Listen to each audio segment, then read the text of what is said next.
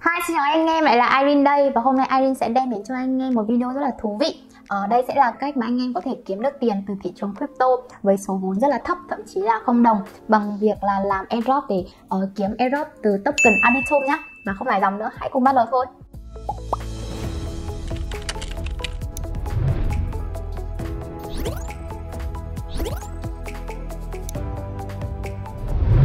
Đầu tiên thì Arbitrum là một giải pháp layer 2 được tạo ra để cải thiện khả năng của các Ethereum, giúp tăng tốc độ và mở rộng khả năng của chúng, đồng thời thì giúp bổ sung các cái tính năng bảo mật để khởi động trong thời gian tới thì token Arbitrum sẽ có động thái airdrop cho cộng đồng. Vì vậy là anh em hãy theo dõi kỹ video này để có thể tham gia nhận roll và kiếm airdrop từ token Arbitrum nhé. Đầu tiên là về cách nhận roll trong Discord của Arbitrum thì anh em hãy cần truy cập vào Arbitrum will.xyz uh, theo cái link mà mình để đặt ở dưới.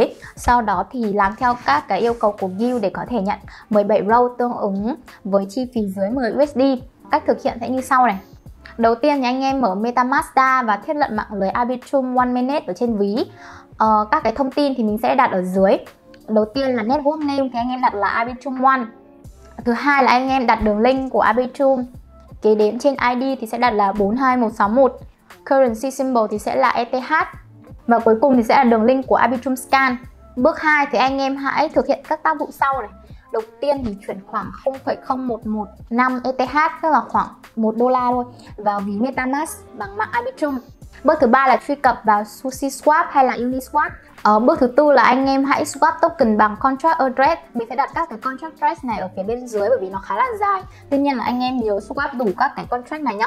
Các cái đồng mà anh cần swap sẽ là DBL này, DPX, LPT, Chainlinks, uh, và khá là nhiều đồng coin khác mình sẽ đặt link ở phía bên dưới và đặc biệt cần lưu ý uh, khi mà swap ờ, uh, HOP, LP, USDC thì anh em sẽ cần 0,011 USDC và 0,011 HUSDC vào liquidity pool để tạo ra cặp uh, HOP, LP, USDC. Sau đó thì anh em convert USDC thành HUSDC tại uh, cái sàn giao dịch mang tên là Hope Exchange.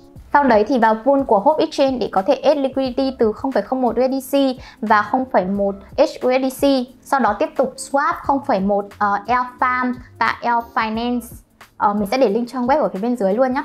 Sau khi anh em đã swap hết toàn bộ token trên vào ví rồi thì anh em tham gia guild bằng cách connect ví này, Discord và Twitter. Bước thứ năm là tham gia guild, thêm user Twitter với hai biểu tượng trái tim màu xanh và màu cam.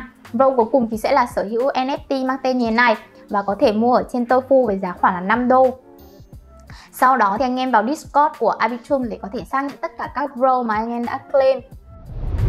Vậy là vừa rồi mình đã giới thiệu cho anh em cách skin in the game vào hệ sinh thái của Arbitrum để nhận role và có thể nhận token airdrop từ những đợt airdrop sắp tới của Arbitrum. Anh em thấy sao video này? Hãy comment nhận định của mình ở phía bên dưới và nếu anh em thích thì hãy like, share và subscribe cho Coi 68 TV. Mình là Irene và mình sẽ quay lại trong những video hữu ích trong thời gian tới. Bye!